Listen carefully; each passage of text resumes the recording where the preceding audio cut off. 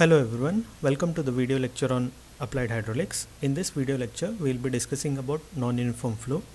We will be discussing problems on gradually varied flow. Now, before we discuss about the problems on gradually varied flow, let us discuss the procedure. How do you find the length of backwater curve? Now, the first step says that we need to compute the area of flow section A, wetted perimeter P and hydraulic radius R corresponding to the known value of depth of flow Y. Once we have done with this, we need to compute the mean velocity V, velocity head V square by 2G and the specific energy E and the energy line slope SF at the channel section where the depth of flow is known. The energy line slope SF may be computed using either Manning's formula or Chezy's formula as it has been mentioned here. In fact, these formulas are modified forms. So in place of slope of bed of channel, we have considered it as SF. For a uniform flow section, the slope of bed of channel and slope of energy line are parallel. So if slope of bed of channel and slope of energy line is parallel we can replace slope of bed of channel with slope of energy line. So sf is equals to n square v square divided by r to 4 by 3 or sf is equals to v square by c square r. Now after this step we need to assume a new depth of flow for another section which is lying very close to the previous one. And from the assumed depth of flow y, we need to compute the various quantities what we have computed in steps 1 and 2. That is, we need to find area of flow, perimeter, hydraulic radius, velocity, velocity head, specific energy and slope of energy line. The assumed depth will be either more or less than the known depth at the control section depending upon whether the surface profile is rising or falling from the control section.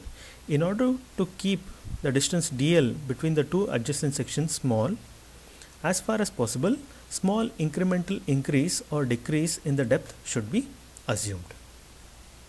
Now, after this step, we need to obtain the value of the change in specific energy.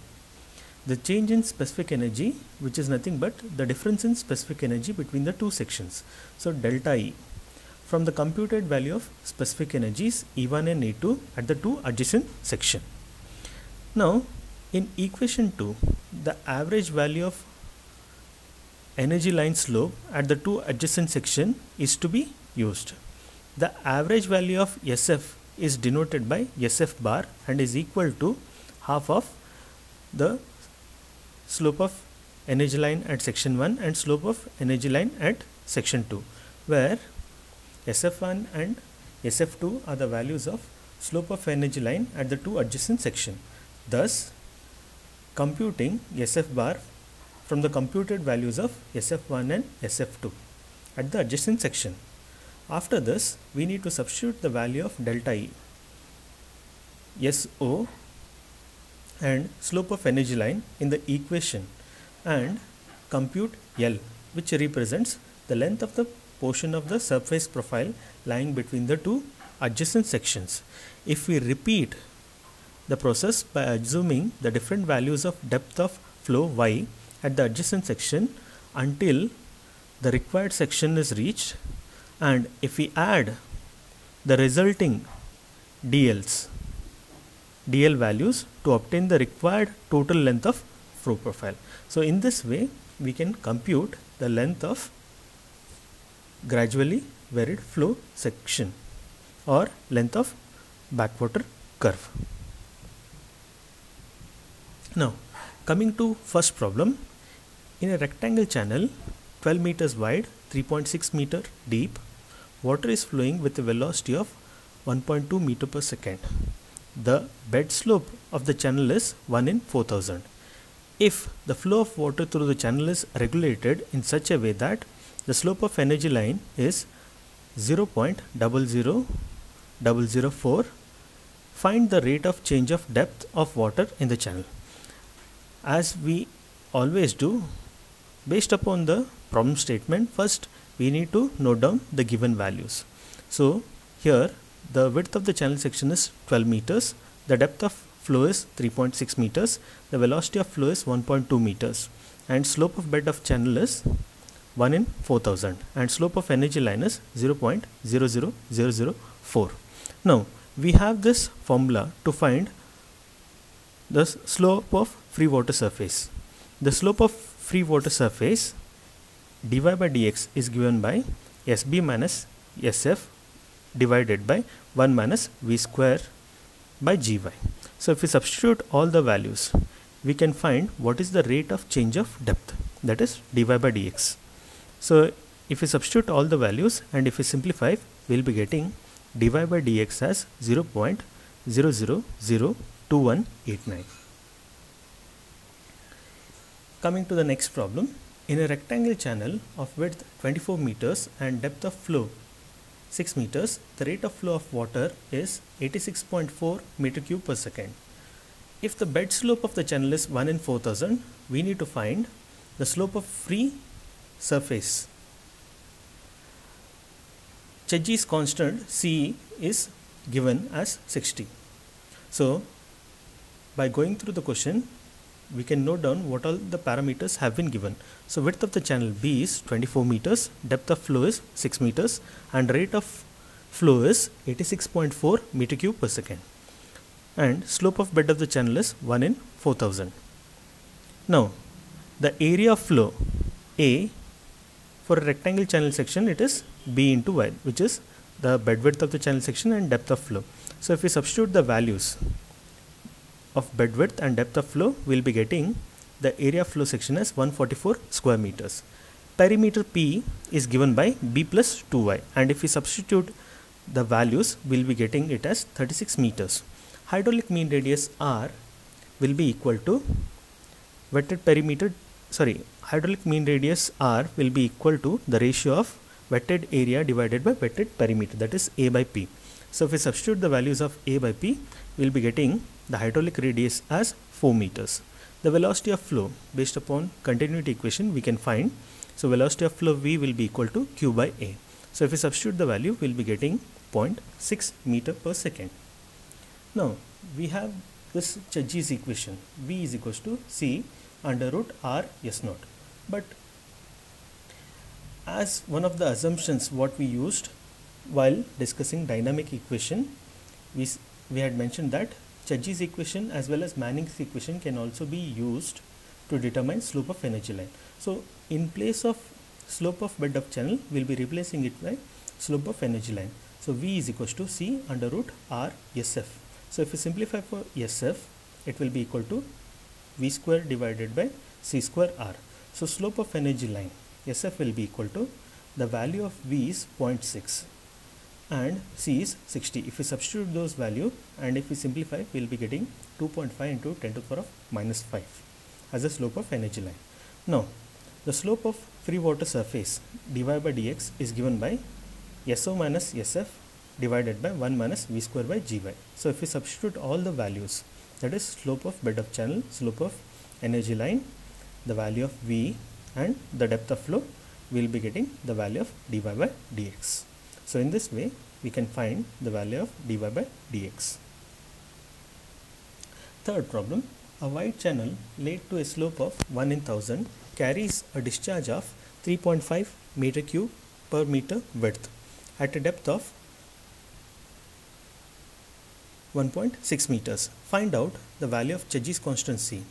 Consider the flow to be uniform. If the actual depth varies from 1.5 meter at the upstream location to 1.7 meter at a location 300 meters downstream or in other words the flow is gradually varied what will be the value of Chezy's coefficient. So here there are two cases. In first half of the case the flow is uniform and in second half of the case the flow is non-uniform. In both the cases we need to find the value of Chezy's constant. So based upon the problem First, note down what all things have been given. The slope of the bed of the channel S naught is given that is 1 in 1000. Discharge per unit width small q is given that is 3.5 meter cube per second per meter width. Depth of water is 1.6 meter. Now, the velocity of flow V will be given by discharge per unit width divided by depth of flow. So if we substitute the value, we can find the velocity of flow and it is 2.1875 meter per second. Hydraulic radius is given by R is equals to ratio of wetted area by wetted perimeter. Now for a rectangle channel section, A will be equal to B into Y and perimeter will be equal to B plus 2Y. For a wide channel,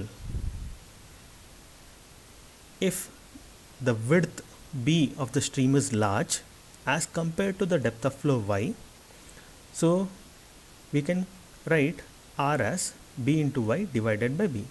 Here you can consider, let us consider say B is, if you, if you just consider B as say 100 meters and depth of flow is 2 or 3 meters. So B into Y, the ratio when you take B into Y divided by B plus 2Y, this will be almost equal to B into Y by B. So if we substitute the values what have been given in the question so R will be equal to Y which is 1.6 meters. Now in case of uniform flow the Chezy's equation is given by V is equals to C under root R S naught. So if we substitute all the values we can find the value of Chezy's constant. So C will be equal to 54.68. Now in case of gradually varied flow the slope of free water surface dy by dx is given by the change in depth divided by the interval. So if we substitute the value, we will be getting dy by dx as 0 0.000667. Here the average depth of flow is the average of the two depths that is 1.5 and 1.7 which is 1.6 meters. The velocity of flow at the average depth again we can find using the same modified continuity equation v will be equal to small q that is discharge per unit width divided by y. So 3.5 divided by 1.6 will be equal to 2.1875 and for a wide rectangle channel the hydraulic radius r will be given as y itself which is 1.6 meters. Now if we substitute all the values here we have dy by dx is equals to SO minus SF divided by 1 minus V square by GY. If we substitute all the values, we can find the slope of energy line. After finding slope of energy line, we will be using the Chezy's equation to find the Chezy's constant. So in place of here slope of bed of channel, we are using SF as I have already mentioned. So C will be equal to V divided by under root of R SF so if we substitute all the values, we will be getting the Chegys constant as 74.69. Coming to the another problem, the normal depth of flow of water in a rectangle channel is 1.5 meters wide.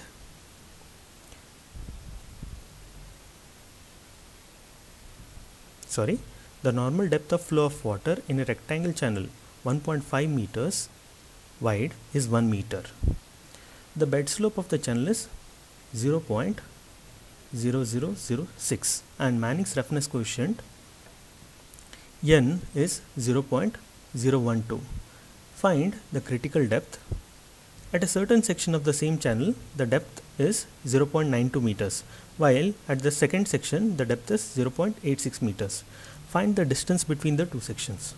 Also find whether the section is located upstream or downstream with reference to the first section.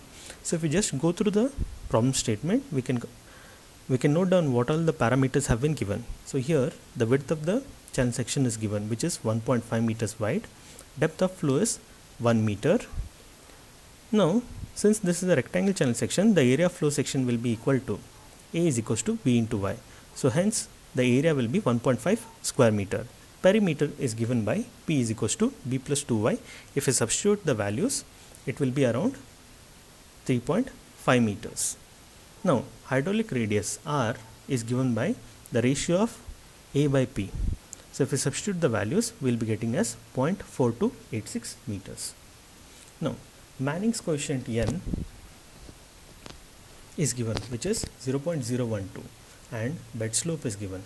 In order to find the critical depth, let us find the discharge. Discharge Q is equals to A into V.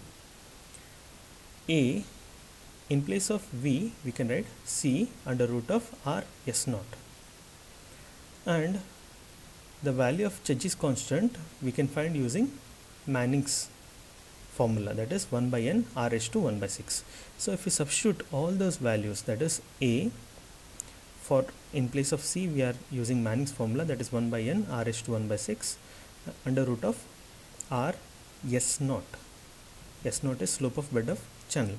So substitute all the values we can find the discharge which is 1.74 meter cube per second. The discharge per unit width small q will be the total discharge divided by bed width of the channel section. So 1.74 divided by 1.5 will be getting 1.16 meter cube per second per meter width of the channel section and we know the formula for critical depth. Critical depth YC will be given by q square by g raised to 1 by 3. If we substitute the value, we will be getting the value of critical depth as 0.515 meters. Now, to find the specific energy at section 1-1 that is at depth y1 is equals to 0.92 meters.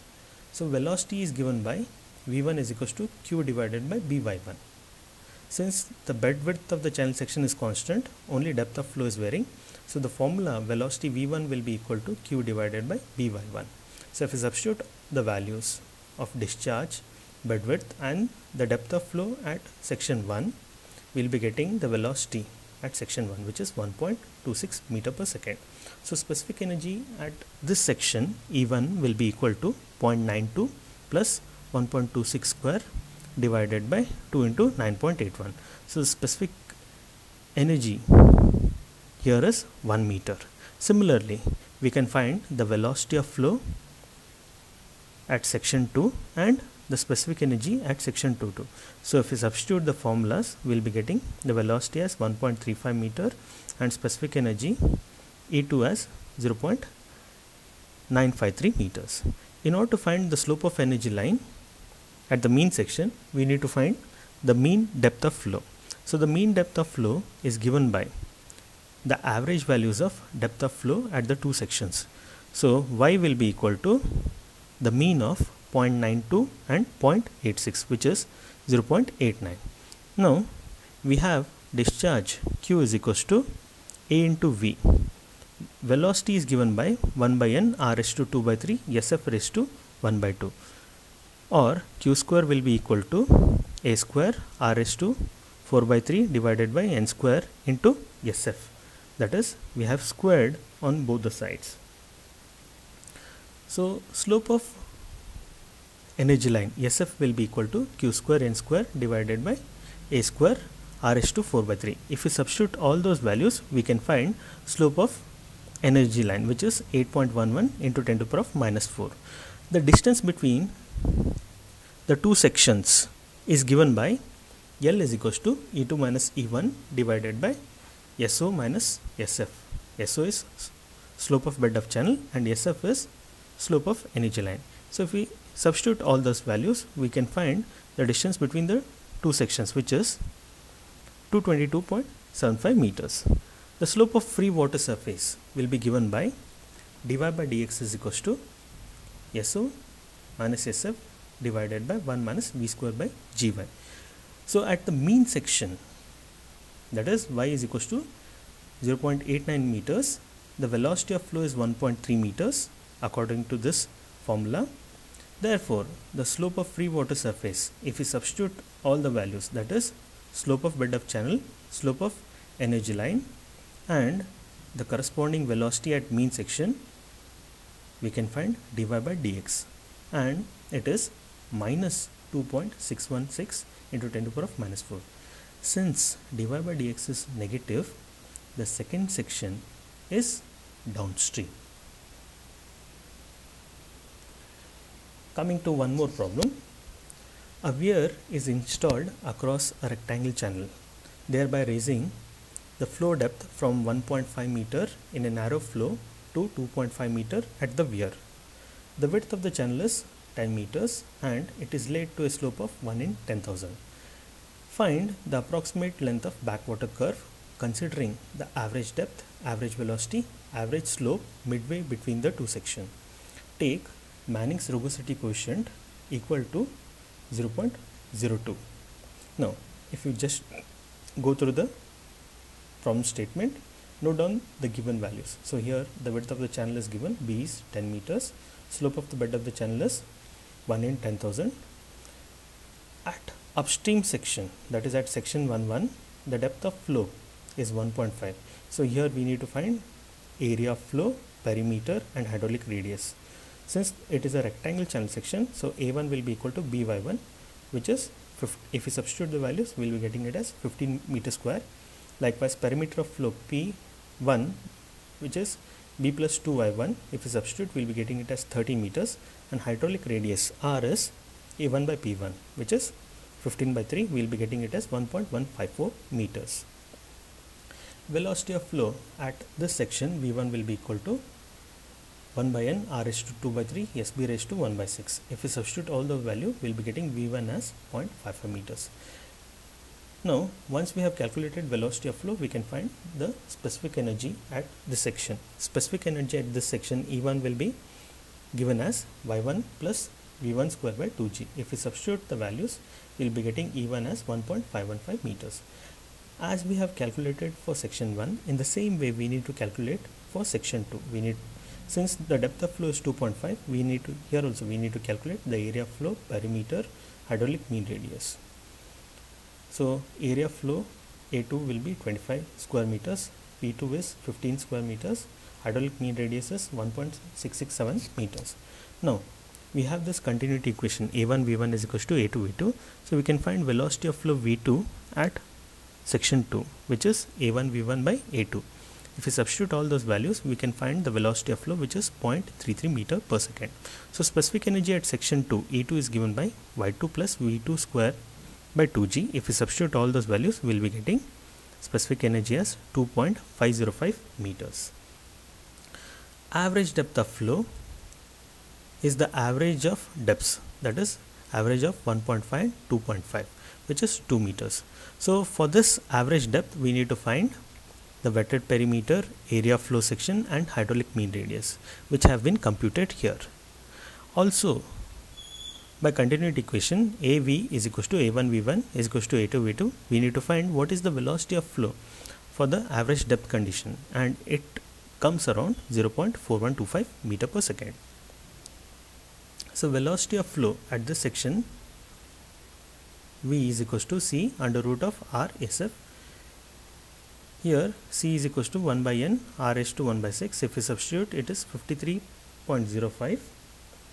So we can find slope of energy line. Slope of energy line SF is equals to V square by C square R. It is 4.23 into 10 to the power of minus 5. Now the length of the backwater curve is given by L is equals to E2 minus E1 divided by SO minus SF.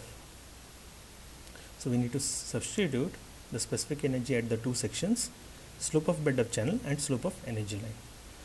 So if you find the length of the curve it is 17,157.7 meters which is 17.157 kilometers.